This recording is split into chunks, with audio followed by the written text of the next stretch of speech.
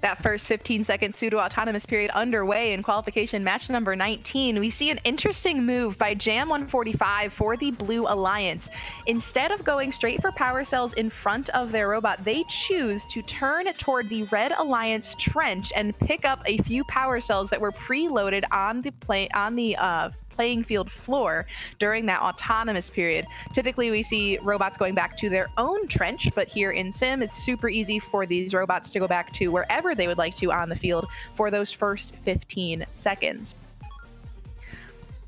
With just under two minutes remaining in our match now, the Red Alliance does have about 30 points on the Blue Alliance. They've also scored about 10 more power cells. Blue, though, currently has two robots working on scoring, Red with only one. So that's going to even out in just a few seconds. We do see now that when those robots are working on cycling between their loading station and the power port, they are pretty well matched, just a few points separating Red from Blue. All three Blue robots coming off of a scoring cycle. Jam going back toward the loading station Jason with a full hopper of power cells.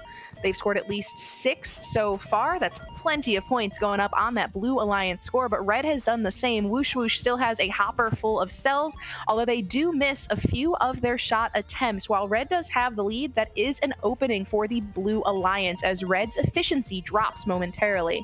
Jason, Jam, and Andrew, all three Blue robots lined up right in front of the Blue Alliance power port. At least 10 power cells going up for the Blue Alliance. It looks like there's some communication happening between those alliances Alliance members. They're being very careful to stay out of each other's way and make sure they can all see the power port clearly before they attempt their scoring. It's slightly slower, but it is leading to more accuracy for the Blue Alliance, who now has a lead 247 to 231 with 35 seconds remaining in the match.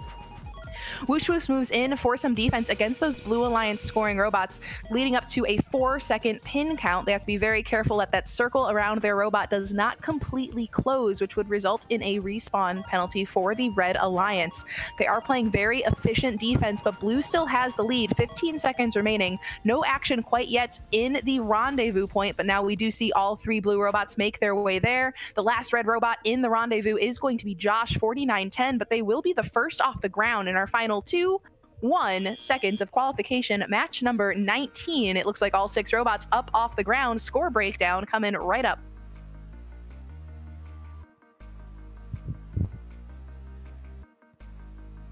And as we see, that match is a Blue Alliance victory by just 10 points, 392 to 382. In that match, both alliances did score more than 90 power cells and more than 65 points on the shield generator at the end of the match. So we do have another six point total RP match. Four going home with the Blue Alliance, two with the Red. Thanks for watching. If you want more fun content, be sure to subscribe and ring the bell to be notified about our latest videos. You can also directly help support Fun by visiting our Patreon at patreon.com forward slash first updates now or by subscribing at twitch.tv forward slash first updates now. Thanks to all of our co-executive producers on Patreon and Tier 2 Plus subscribers on Twitch, keeping fun loud, live, and independent.